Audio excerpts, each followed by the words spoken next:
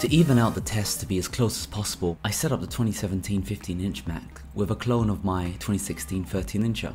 Migration Assistant only works via Wi-Fi and not the super fast USB, so I left it running overnight. However, most interestingly, I learnt that the 15-inch MacBook Pro can actually charge a 13-inch MacBook Pro. For the test configuration, I wanted to simulate real-world usage. I had three browsers open and Google Drive syncing in the background.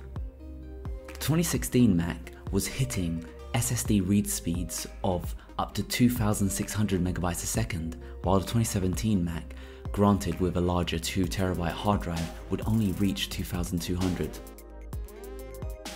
Launching Final Cut took around the same time on both.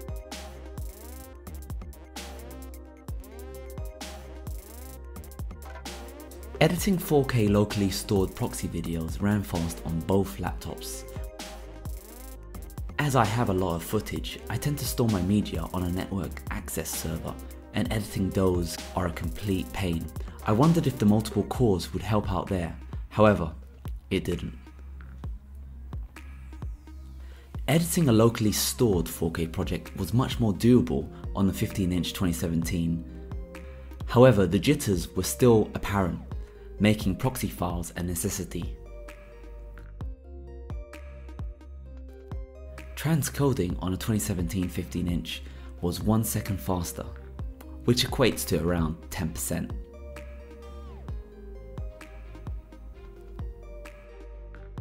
Exporting a 40 second 4K project was 6 seconds faster on a 2017 15 inch.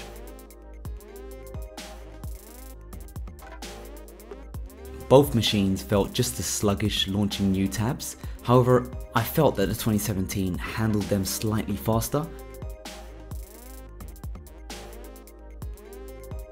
Compiling code was twice as fast on a 15 inch, thanks to its quad core. However, the iOS simulator was still unusable for OpenGL on both machines. Rounding it up on Mac, the most interesting thing that I noticed on Activity Monitor was that on the 13 inch, the CPU was idling between 5 to 15%, with Google Drive taking up to 60% of the processing power. Whereas on the 15 inch, it was idling at 65%, with Google Drive only reaching 8%.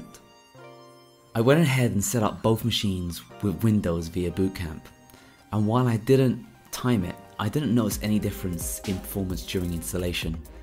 Where I did notice the difference, and it was a big difference, was in gaming.